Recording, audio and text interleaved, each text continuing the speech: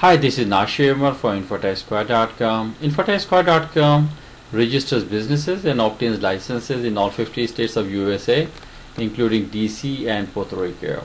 InfoTaxSquare.com has uh, completed its uh, 12 successful years in business and most of the rating agencies have uh, given InfoTaxSquare.com A plus or 5 star rating. This short video clip is uh, regarding to set up a company for a non-US resident. We receive so many calls from uh, different part of the world.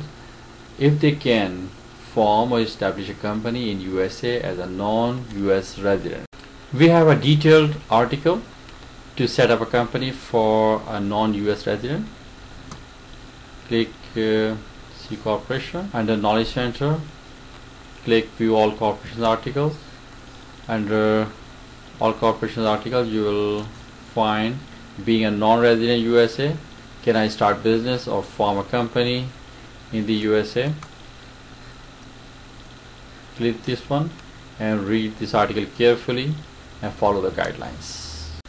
Now let me tell you some basic steps to be taken to incorporate business uh, in USA as a non-US resident.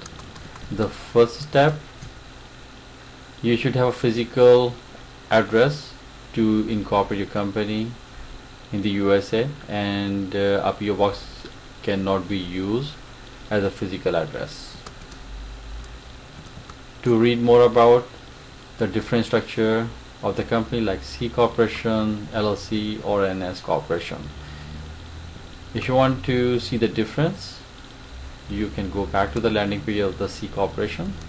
We have a knowledge center and a knowledge center view all articles you will find a difference between C corporation, S corporation and LLC to decide which, what is the best structure for your business to incorporate.